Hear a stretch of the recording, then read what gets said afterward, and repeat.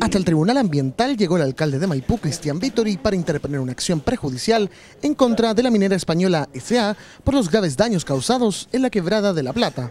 Los antecedentes que fundan esta presentación radican principalmente en el hecho de que esto es una actividad ilegal, señalada por todos los organismos públicos. La Corte de Apelaciones falló a favor del recurso no innovar, lo que implica la detención de las actividades en este lugar todos los organismos administrativos en materia ambiental se han pronunciado, ¿no es cierto? En este caso la Superintendencia de Medio Ambiente, el CERME Geomín y distintas entidades, vale decir, hay un nutrido eh, cantidad de fallos en esta materia, sin embargo eh, nos encontramos con que la minera española sigue desarrollando faenas de destrucción de este patrimonio ambiental y en consecuencia nosotros creemos que no hay nadie en este país que pueda estar por sobre las leyes, sobre el Estado de Derecho y en consecuencia esperamos que el tribunal falle en derecho para que una vez por todas las maquinarias que están ahí, el personal que sigue destruyendo este patrimonio, se retire lo antes posible.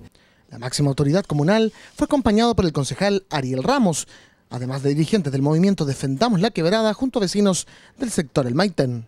Estamos bastante cansados eh, del chip libre que se le ha dado a esta minera, de que todos los órganos relacionados con, con materia medioambiental se hayan pronunciado en contra de esta minera y la minera siga operando. Esperamos que este recurso por fin nos dé la seguridad de que vamos a incautar toda la maquinaria minera y que la minera va a tener que hacerse cargo de todo el daño medioambiental que ha generado en la quebrada de la Plata. Hemos puesto muchos recursos, muchas demandas, todo, y se ha dado la orden de que no sigan trabajando, pero los mineros siguen destruyendo, siguen haciéndolo tira. Ya no echaron un cerro abajo, un cerro muy hermoso. No están destruyendo un pulmón muy importante para la comuna y para la región metropolitana.